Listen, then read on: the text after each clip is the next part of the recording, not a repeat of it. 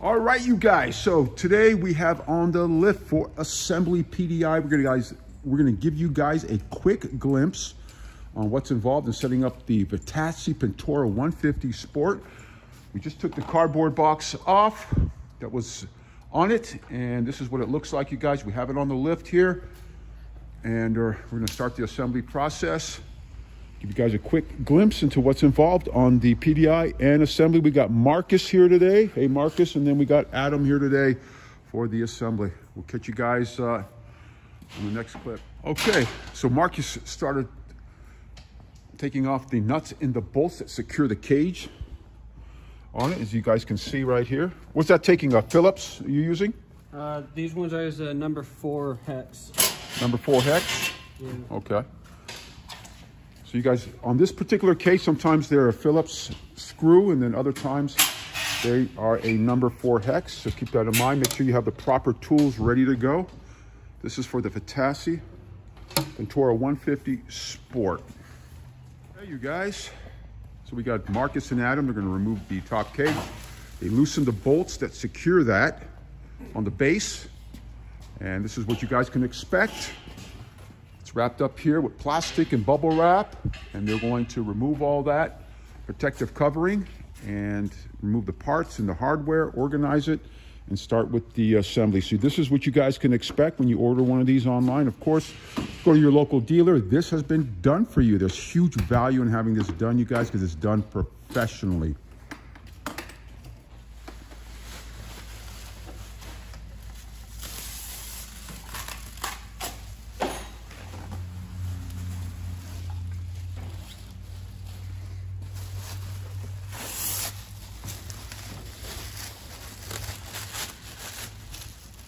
Okay, you guys can see the bike is a bit naked. They removed all the hardware and the parts, wheels, etc. So this gives you a glimpse into what to expect. What Marcus is doing right now, he's setting the bead on the tires because they do arrive flat, you guys. So you got to put the proper air pressure and that proper air pressure, tire pressure is around as well. And what uh, sometimes you have to do is you have to tighten up the valve inside here, the valve stem. Sometimes those are not tightened and air can come out.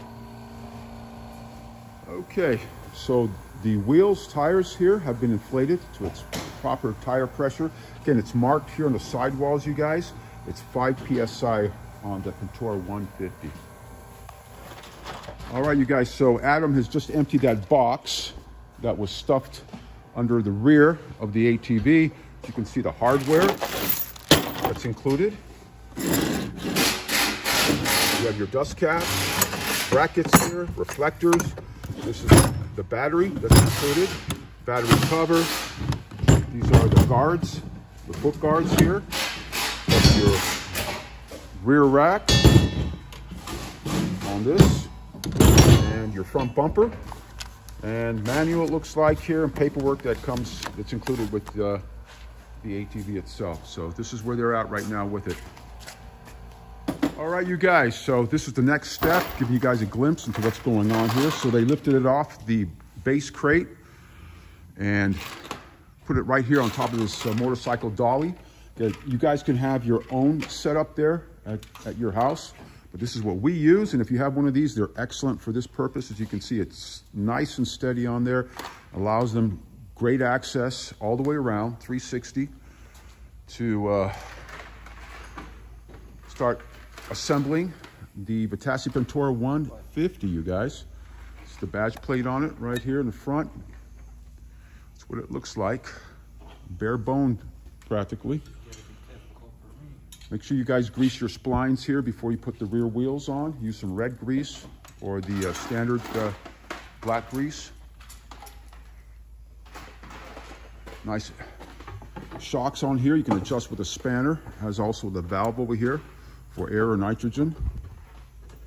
You got Zerk fittings over here on the control arms, as shown here with these red. Make sure that you uh, check on these here as well, and then put these red caps right back on them.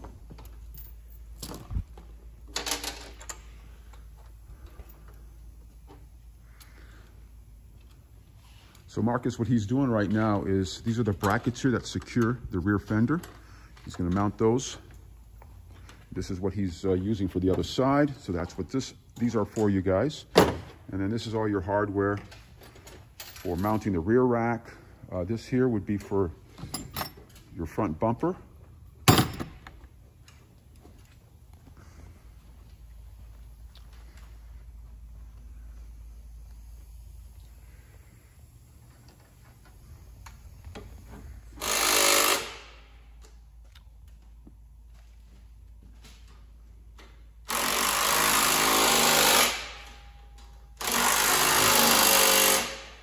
Right, so uh, Marcus is in the process of installing this rear rack.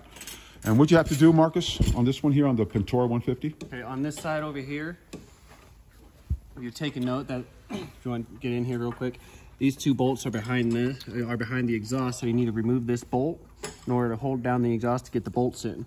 However, you want to make sure you reinstall the exhaust before you tighten these bolts. Otherwise, it's going to uh, jam up the exhaust.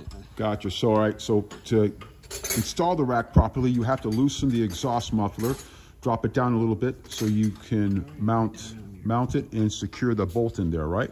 Yeah. Okay. You want to use a hand wrench in order to tighten these two bolts right here to secure the back rack. All right. So you see these two bolts over here, you guys? You want to use a uh, hand ratchet there to secure them. And Adam, uh, right now, what are you working on, Adam? Finishing up the front. Okay, so you're securing the uh, the hubs. Yeah. Okay, putting in the cotter pins, castle nut cotter pins, you guys. Okay, you guys can see Adam. He's installed the caliper hub, installed the uh, castle nut cotter pins that are required, as well as the uh, the tie rod. You guys, so keep that in mind. You guys saw a few minutes before, and now you can see it after. Now he's going to install the front bumper. All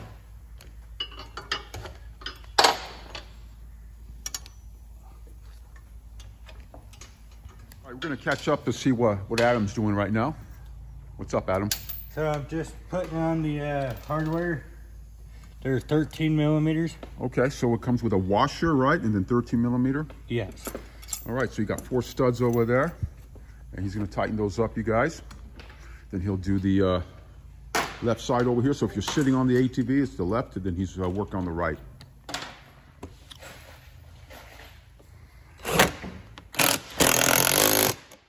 What, uh, what are the sizes? Uh, the bolt is going to be an 8 on this, and then the nut is going to be a 10. Okay, you guys, so while it's on the lift here, it gives me a chance to point out a couple of things over here. This right here is your fuel filter, pressure regulator right here. It's your carburetor, typical, uh, you know, GY6 150 style motor here with your 150 uh, carburetor. That black here, that's your electric choke. So fully automatic with reverse. You guys, so Marcus is getting ready to mount the rear wheels. Again, we always recommend putting on some uh, grease, typical bearing grease, you guys, here on your splines. Definitely for longevity purposes, so make sure you do that. And those wheels definitely uh, are mounted a lot smoother as well. You've got your chain, you see your rear shock over here. Again, this is an adjustable shock as well, and it does have an air seal on the uh, top as well. So, all right, you guys, what was that? You want to keep in mind that your wheels are going to be directional, so you want to make sure you put them on the right side, on the correct side. All right, so Marcus just uh, threw out a, a tip here. The wheels are directional, right? Yes. Okay, so keep that in mind. And where, where would that be marked on the wheel? Um, usually on the wheel, Or is it on the tire tread? oh, it's on the tire tread right here. You see a rotation arrow here. Okay. That's going to be the direction that the wheel turns. All right, you guys, so when you're doing this at home, keep that in mind. These are directional wheels. Put it on this side. Gotcha. You can also see what the tread pattern is. These are kind of little chevron shapes here, you guys. Where are you at? On the other side, just finding some hardware for it. Okay, all right. So you're mounting the other side, the front wheels. So Adam's taking care of the front wheels. Marcus is working on the, the rear right now. Disc brakes all the way around. This is a nice seller, you guys, if you're looking for something like this. It's a great beginner quad. It's a 150. You could be for a uh, larger size rider as well.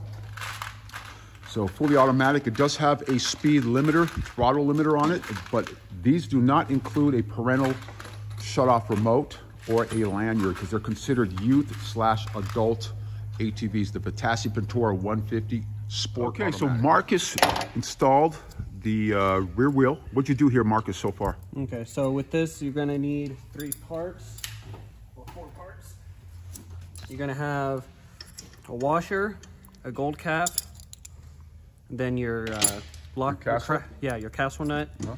and a pin. Cotter pin, okay. And Cotter pin. What is what is this here for? What's the order that these go in? It goes like imagine this is the uh, uh, axle right there. You put that on, then the gold nut or the gold cap, and this goes in here. You drill it on. There's going to be a hole in here, which you want to line up with here, or put a cotter pin. Slide slide the cotter pin through and not, and then lock the cotter pin in place. Okay, all right, make sure you guys don't forget that cotter pin. Lock it in place properly. Okay, so this piece right here, you guys, so this is important to have on if you want to use your, your dust caps over here. So make sure that uh, if you decide to use this, this is going to be to secure like Marcus is doing right now. He is uh, installing that dust cap. Just pops right in there, a little suction on there, and it fits right into place.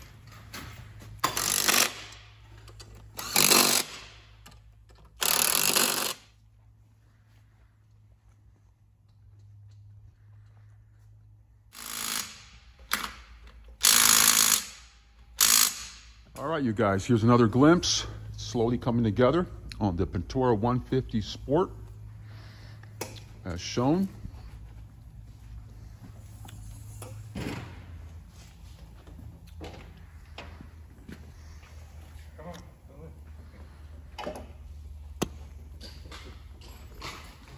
I, I got, notice that you installed those reflectors.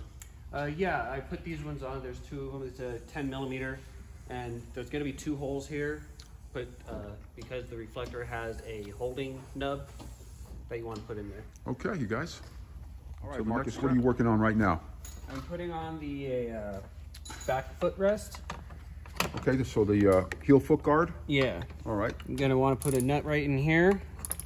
Again, that's uh, I believe that's gonna be a 10 millimeter. Okay. You're gonna want to take these off so you can slide these onto here, then reinstall the nuts on there. Gotcha. So it's going to be a little bit of stretching on this too. I notice sometimes. Yeah, there Bit stretching It's, out. it's gonna be a bit of a. So it's not going to be just be a, a plug and play on those, you guys. You're going to have to stretch it out a little bit, tighten one end, tighten the next end. So you're going to have to feel it out according to uh, your positioning and how you set it up. So you have to tighten one nut and then tighten perhaps the top nuts and then the lower nuts. So it just goes combination back and forth. Keep that in mind. All right, so once the foot guards are installed, you guys, we got the handlebars up, so you can see. Adam uh, installed the risers, installing the handlebars here. So we're getting close to the finished product.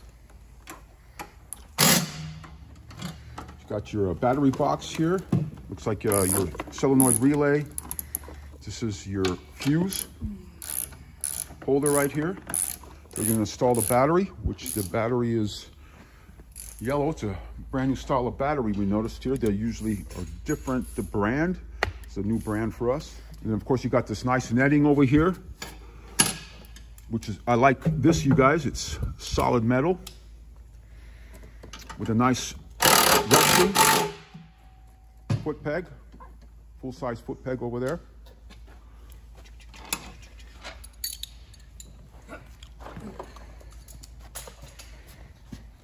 What they're doing, you guys, is they install the battery, but then you have your solenoid relay. That's the way the manufacturer sets this up here with your fuse carrier over here. So they're setting it up so it'll be placed right in here nicely securely right next to the battery. That's just the way it comes on the Vitacci 150. So you've got to find a little home here for it and uh, park these, uh, these components right next to the battery. All right, you guys, so welcome back. So you saw the before, now this is the after. It's completed 100%. We got it started up. We recommend using uh, 91 gasoline. Let it idle for a bit. Want to give you guys a pointer over here on the idle screw, you guys. So there's a little cap on the idle screw and the all-come cap, you guys, you just got to pull it up vertically and that'll remove it. Just use a plier, pull up this cap, it, it'll expose the uh, idle screw and you can make your fine adjustments as needed.